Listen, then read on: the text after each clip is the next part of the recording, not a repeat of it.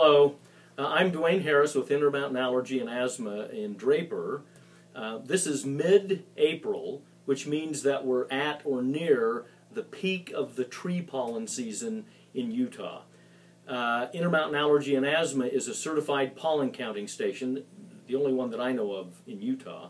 We're part of the National Allergy Bureau's uh, network of collecting sites. Um, so if you go online to intermountainallergy.com, you'll see the, the most current pollen count, and that comes from this building up on top of the roof, and we'll show you that later. So we get a lot of, uh, or I get a lot of questions about the pollen count. How is it done? What does it mean? Most people, when we show them how the pollen count is done, are uh, kind of surprised at how low tech it is. Um, the most important thing about the pollen count isn't the equipment that you use, it's the, uh, the knowledge and the experience of the counter or the person who identifies the pollen grains. So I thought we'd take just a few minutes and go over what, what's involved with doing the pollen count. This is Pollen Counting 101. Um, to start with, the pollen is collected on this little device. Now this is a spring-loaded holder for some transparent rods um, with these rods, we coat one side with a silicone gel, and then this spins under the, the bottom of a, a machine up, up on the top of the roof, and we'll show you that. And the pollen grains that hit the edge of the rod stay there, and you can identify them later under a microscope. Go ahead. Come up with me. Let's let's go up to the roof and see where we collect the pollen. Go. Okay, we're up on the roof. This is a one-story building. Uh, you can see pretty nice view from here, actually.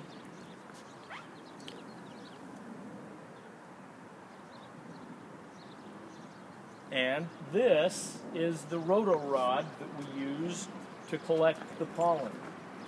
So underneath is the little spring-loaded uh, device that I showed you in the office.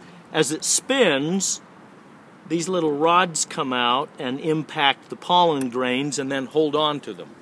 So this is what we look at under the microscope. So it has one of the little translucent, transparent rods on a microscope stage. We stain it, and then it goes under the microscope, and you can look and see the pollen grains and hopefully identify which ones there are.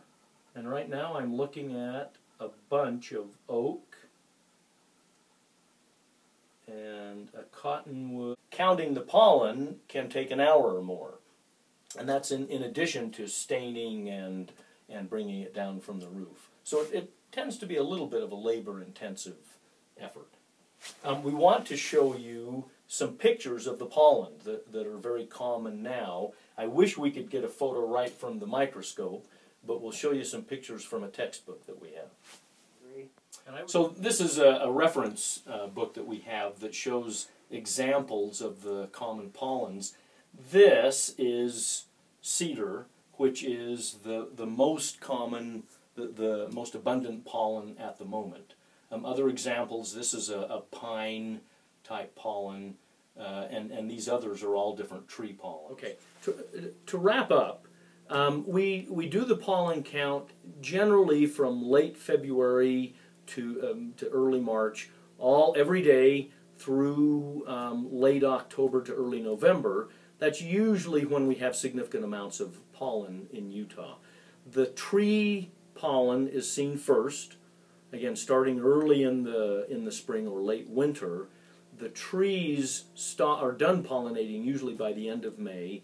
Grass starts pollinating middle of May and is usually done by the middle to the end of July.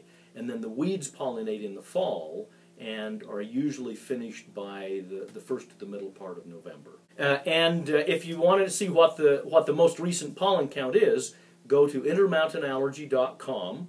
We always post, we try to post it five days a week.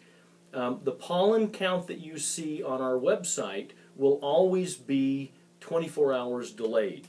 So we collect the pollen for 24 hours, we read it in the morning, we send the pollen count out to the news stations, to the other allergists in the area, and we put it on our website So the pollen count that you see on our website will be the prior day's count. Keep that in mind.